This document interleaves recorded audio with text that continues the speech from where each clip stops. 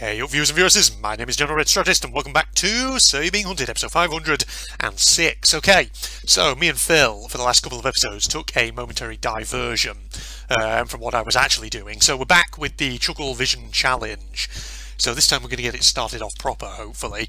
So, um, yeah, I mean, last couple of episodes were good, you know. We, we just kind of felt that... Um, since it was a momentous occasion here in the UK, I, we, we kind of had to sort of talk about it, and we kind of didn't want to be doing that in the middle of a challenge when I might end up having to interrupt the conversation, you know, just because of the challenge rules and all that. So that's why we took a momentary diversion. And then Phil said, oh, I've also got an idea for a little game we could play in You're Being Hunted. And I thought, you know what, fuck it, we'll do an extra diversionary episode as well. So we did.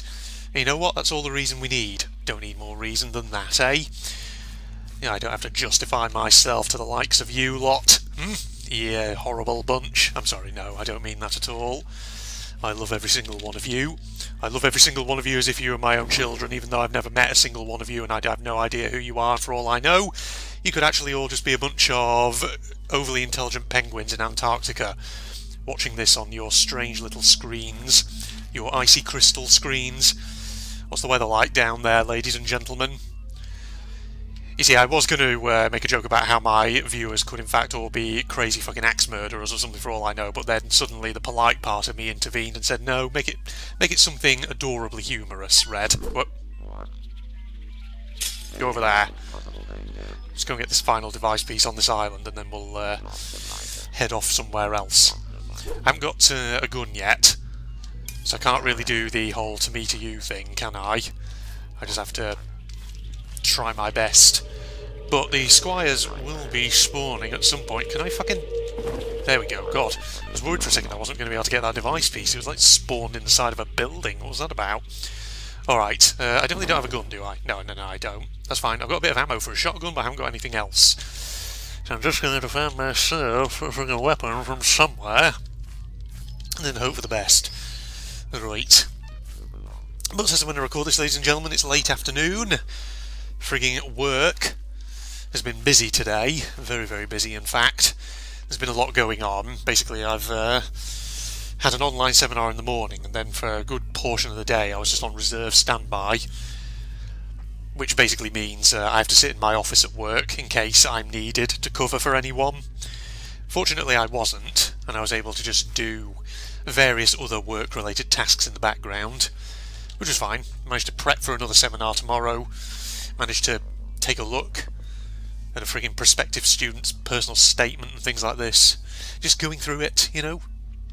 That's an interesting topic though, isn't it? Personal statements. I hadn't actually been thinking about that as a topic, but now that I think about it, it's interesting. Potential topic.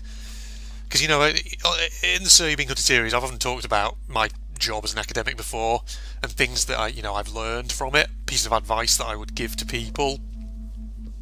And that, I suppose, is something that uh, I know you're all dying to know.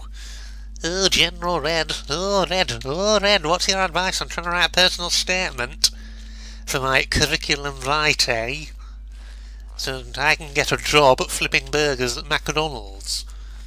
Well, ladies and gentlemen, don't you worry. You ask me that question, and you shall receive.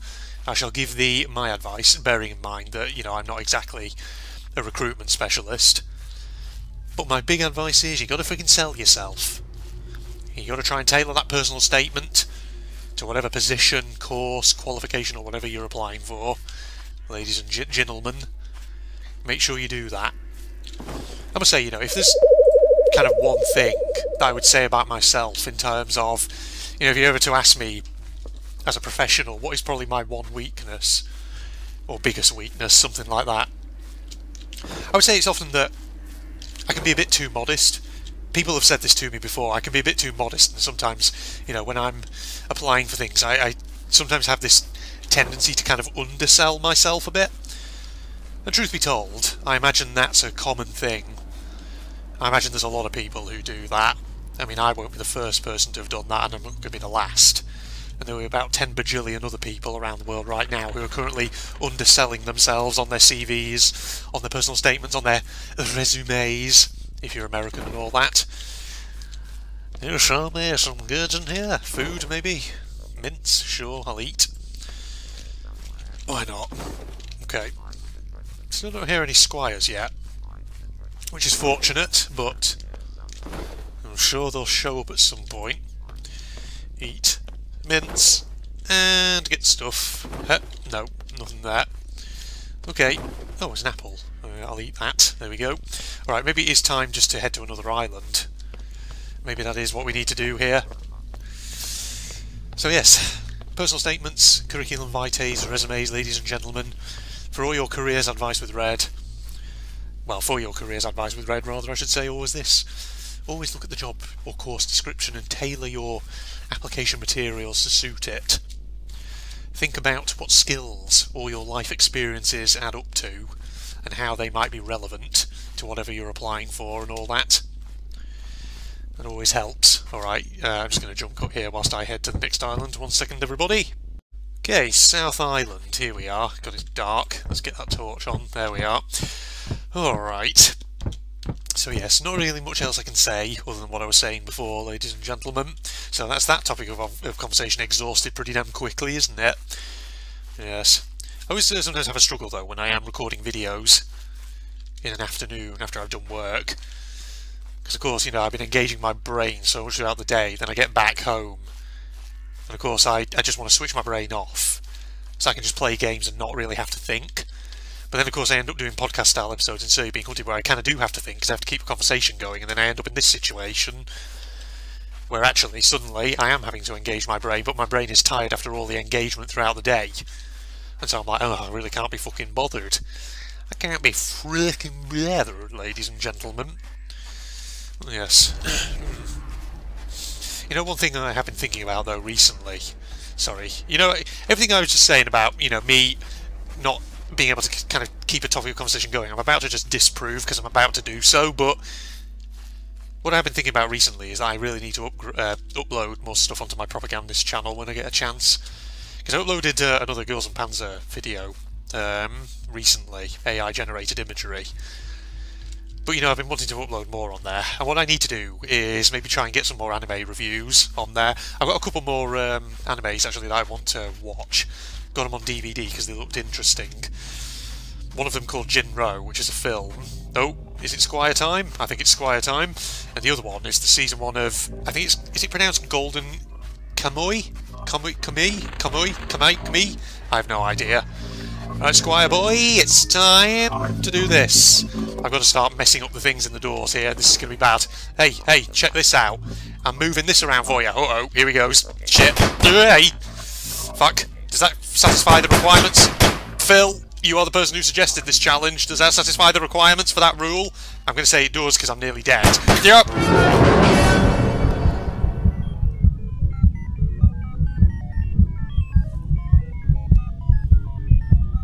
did I or did I not say when I started this challenge that I was not optimistic about how far it would last, how long it would go on for? And that's precisely the reason why. that was precisely why I was worried. Then again, that was my own bloody fault. I should have opened one of the doors at the other end of the village, not the one that was like right next to him. Because he didn't give me barely any time to get away before he triggered. Okay, well, that's the end of the ChuckleVision challenge. God dang it. Oh, so bad. Alright, hold on, let me just load in the last save.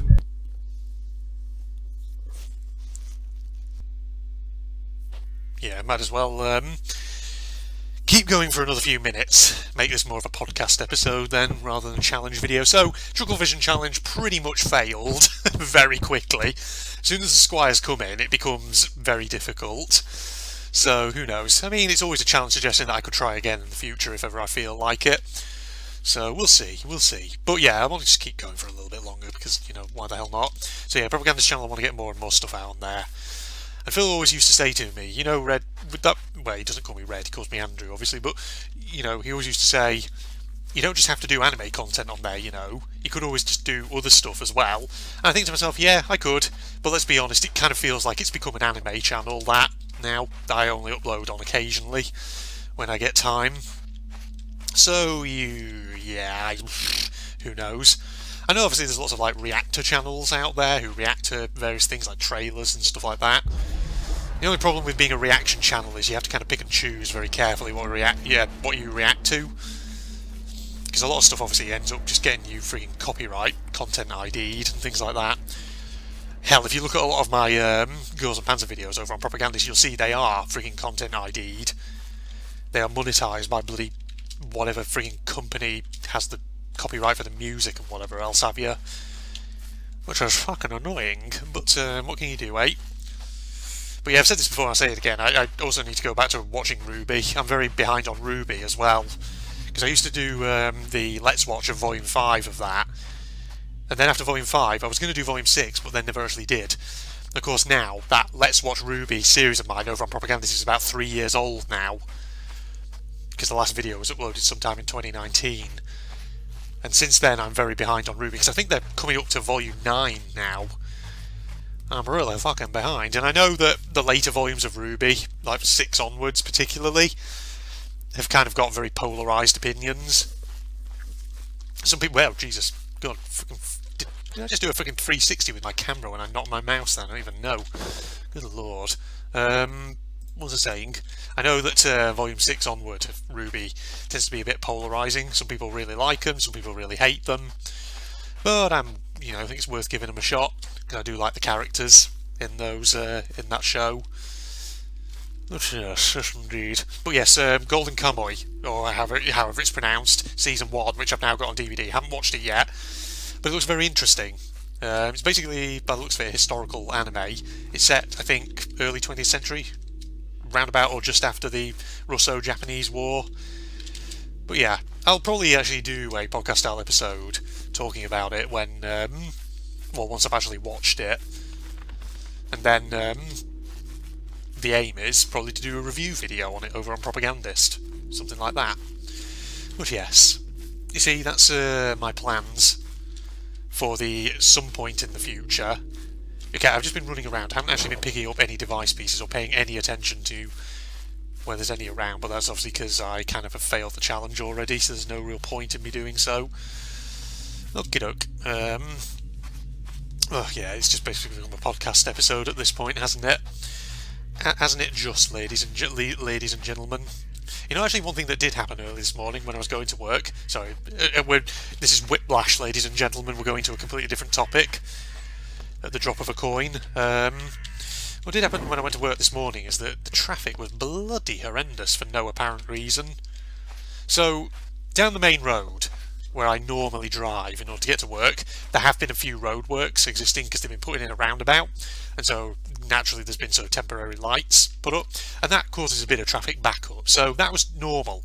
But usually if I see a traffic traffic backup ahead, and if I see it in plenty of time, I have like an alternate route that I can take in order to get to my workplace that just goes through like a little quick little uh, couple of country roads, West Virginia and all that. reference Fallout 76. Um,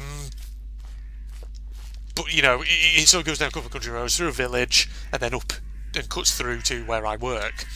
But um, problem is, I was driving up this morning and I decided to go that way because I could see further up the main road that the traffic was really backing up. And I thought, oh shit, I better take the alternate route, otherwise I'm going to be sat in traffic for ages. Turns out, didn't really help, because I ended up sat in traffic for ages anyway, because for some fucking reason, don't know why, traffic was backing up through this village, this alternate route, for no apparent reason.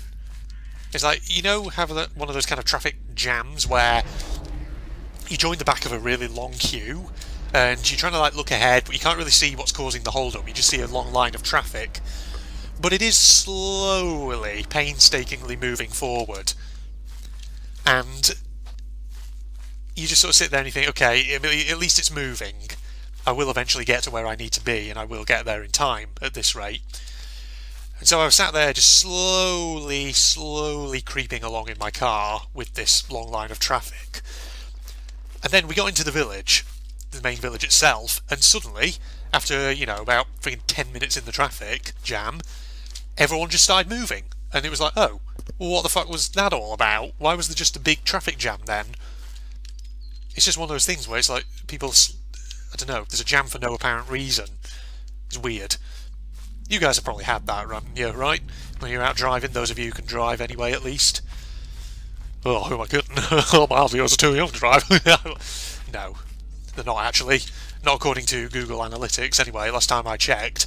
Pretty sure the biggest demographics on my channel are the sort of 17 to 24s who will include, you know, which will include a fair number of people who can drive, and 25 to 30 somethings who are very likely to be able to drive, I would say. So actually, probably a good number of my viewers probably can drive, so, you know, ignore my silly joke. Me joking about the fact that you're actually all a bunch of kids who can't drive. What's going on with me today?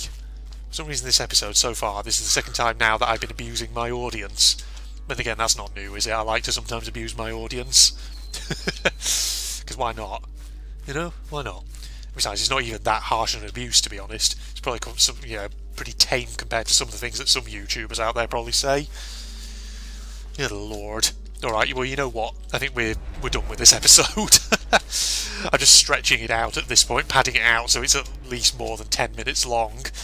So we failed the ChuckleVision Challenge, ladies and gentlemen. That's officially over. I had a feeling it was going to end that way, to be honest, so can't say I'm particularly disappointed or surprised by that. But hey, you know, I gave it my shot. I gave it a best shot, and maybe I'll give it another try again at some point in the future. I say that, I have no idea if, if and when I'll do it. So yeah, Facebook Twitter links down below, along with a link to my propagandist channel for anyone interested if you enjoyed. Like as always, appreciate all that jazz. Uh, but that, this is General Red signing off. Goodbye, everybody. Oh, what the? What? This, this feels like we're actually being put into the game. What, are we having a chase scene right off the bat? Josie, over here. That's what he's going to call. That's going to be, uh, oh, what the? Ooh. Uh, okay, I, I don't know if we want to be near that. Are we just going downstairs? Oh, hello. I mean, it's an interesting form of chase sequence, but, uh, okay. Oh, well, there's another one right there. Guess I'm going this way, am I? Jesus. Oh! Well, that's another one. Oh, well, you're over there now? Don't go that way, Josie. Over here. That's Shuichi's pet name for Kaede now. oh! Well, yeah, that one's en route. Okay. Yeah. Oh, I can sprint, can't I?